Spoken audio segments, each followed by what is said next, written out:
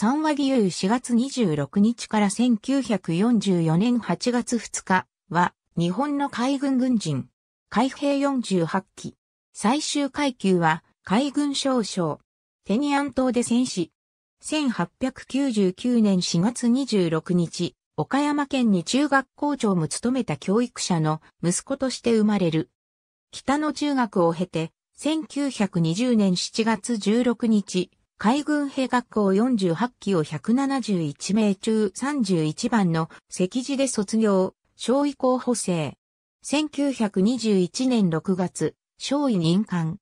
1923年6月、霞ヶ浦海軍航空隊に第9期航空実学生として入隊し、1924年5月に卒業。戦闘機搭乗員任命。1925年、霞ヶ浦海軍航空隊分隊長。この頃、山本56大佐が、法術から航空に転校して、霞ヶ浦航空隊副長に着任、三話は副長付きとなり、航空機の操縦も教えた。三話は、後に、中米大使館副部官補佐官、連合艦隊作戦参謀としても、山本を補佐したが、幼児に父を失っていた三話は山本に、父親のごとき感情を抱いていたという。後に、三話は妻、咲子と恋愛結婚をするが、若い未亡人を作ってはならないという山本の言葉で、結婚を5年間延期している。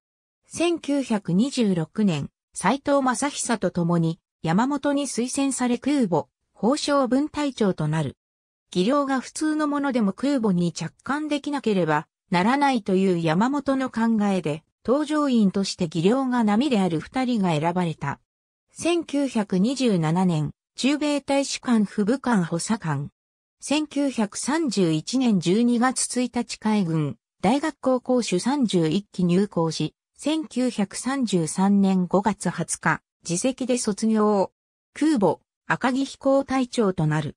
1934年、横須賀航空隊戦術教官。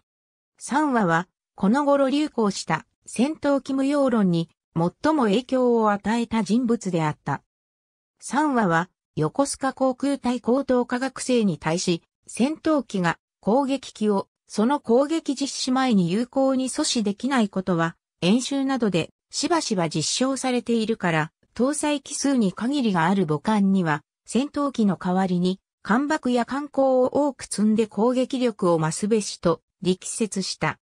分隊長、柴田武雄は攻撃機、爆撃機を進出させるために援護機など、戦闘機による防御は必要と反対したが、三話は海軍は伝統的に攻撃精神であり一機でも攻撃機、爆撃機を増やすべきである。君は戦闘機を過大評価している。それでも日本人かと反論した。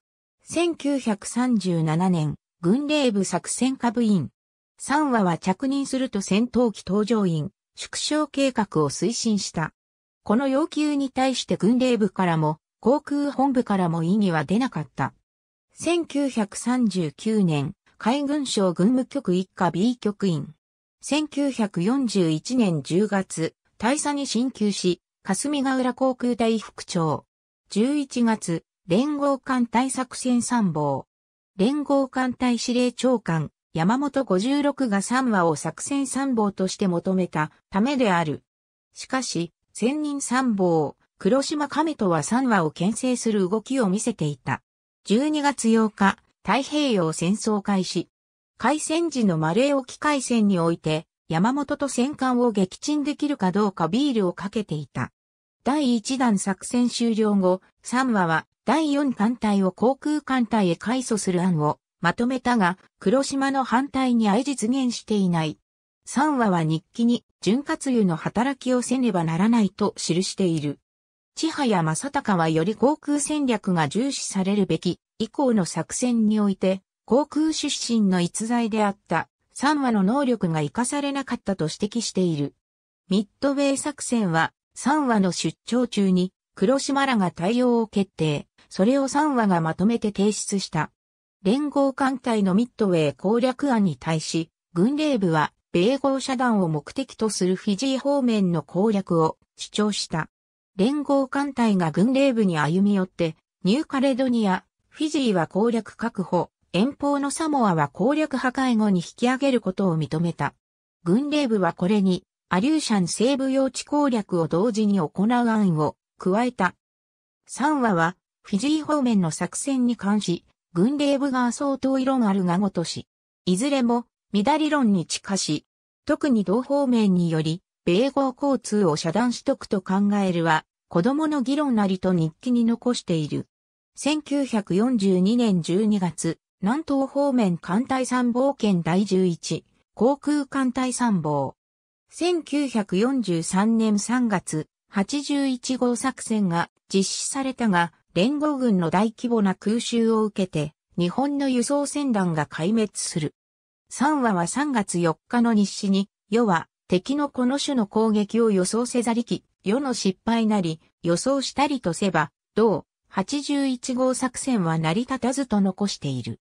4月、山本56の戦死に伴い、病を得て、現地で療養していた三話は、出資として日本へ戻り、山本の国葬において、国葬係を務めた。7月、第一航空艦隊参謀長就任。司令長官は、角田各自中将。